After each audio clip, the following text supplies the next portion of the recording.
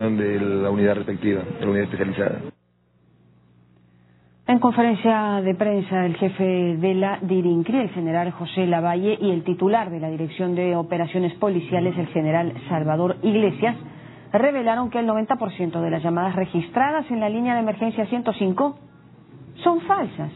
El 90%, increíble. Esto tras las últimas denuncias sobre presuntos explosivos en diversos puntos de la capital. Sin embargo, el 10% restante, eh, dijeron, corresponde al hallazgo de estos paquetes. Indicaron que se está recopilando ya información de fabricantes e importadores de armamento para las investigaciones sobre la comisión del delito de tráfico de armas. Respecto al caso de las 52 eh, granadas halladas en una vivienda en Breña, ¿no? Recordarán ustedes, afirmaron que el sujeto era un acopiador de explosivos y que ya se han puesto en marcha las pesquisas correspondientes.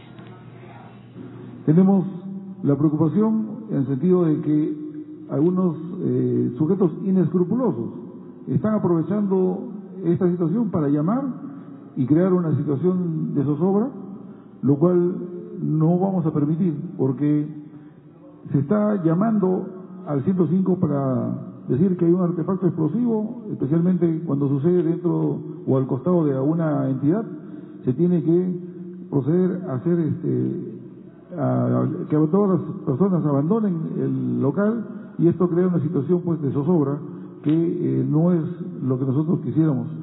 Por eso queremos hacerle conocer a la población que la Policía Nacional está trabajando en función de dar seguridad a la población. La presencia de una supuesta granada alertó a los bomberos de la Victoria. Sin embargo, se demostró que se trató de una falsa alarma. El personal de la UDEX confirmó que solo se trataba de una cartera abandonada. Se cerraron tres manzanas en la Victoria. El motivo, una alerta de explosivo en la cuadra 3 de la calle Batería Independencia, en la urbanización Santa Catalina.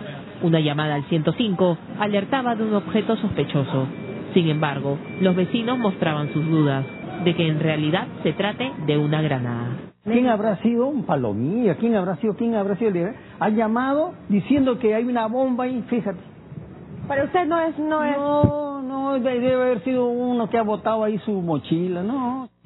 Sin embargo, el escuadrón de emergencia y los bomberos cerraron el tránsito en el perímetro. Posteriormente, personal de UDEX constató que era una falsa alarma.